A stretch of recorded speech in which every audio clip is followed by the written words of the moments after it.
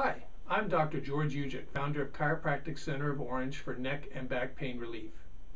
Over the past 24 years, I've been serving the Orange County community, serving tens of thousands of patients, helping them with their neck and back pain issues. Um, most often I get questions concerning what type of cases do you treat, Dr. Ujkic? Well, basically there's three types, acute care, corrective care, and maintenance care. 70% of the patients we treat are acute care patients. These are individuals that are suffering from neck and back pain and want to get out of pain quickly and in relatively a short period of time.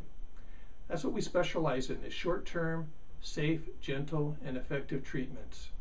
We offer a complimentary consultation and uh, most of the times we can actually do this over the phone to determine whether our treatment procedures will help you. If you have any questions, call me today and look forward to hearing from you. Thank you.